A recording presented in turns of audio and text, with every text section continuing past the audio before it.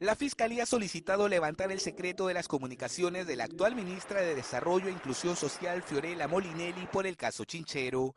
Y es que cuando se desempeñaba como viceministra de Transportes y Comunicaciones, firmó la tan cuestionada adenda del contrato del Aeropuerto Internacional de Chinchero con Kunturhuasi, consorcio que de acuerdo a los informes de la Contraloría habría resultado beneficiado. No, entiendo que es parte de la investigación del tema Kunturhuasi y ahí obviamente son atribuciones de la Fiscalía ir en los mecanismos de restricción de derechos para la búsqueda de información. Algunos congresistas no solo apoyaron el pedido de la Fiscalía, sino que criticaron nuevamente la designación de Molinelli en el Ministerio de Desarrollo e Inclusión Social. Que ha sido un error y nosotros por eso no dimos el voto de confianza al gabinete el mantener a ministros que están cuestionados como la ministra Molinelli.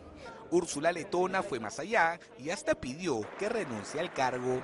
Sí creo que la ministra Molinelli no debió ser designada o debe dar un paso al costado. Media la imagen del Ejecutivo y sobre todo media la poca capacidad que ha tenido el Ejecutivo de luchar contra la corrupción. Otros parlamentarios señalaron que este tipo de investigaciones son normales en funcionarios públicos y recordaron que lo que prima es la presunción de inocencia. Todos los políticos somos susceptibles de, cualquier proceso y hay que esperar simplemente cuáles son las conclusiones, ¿no? Porque es una investigación.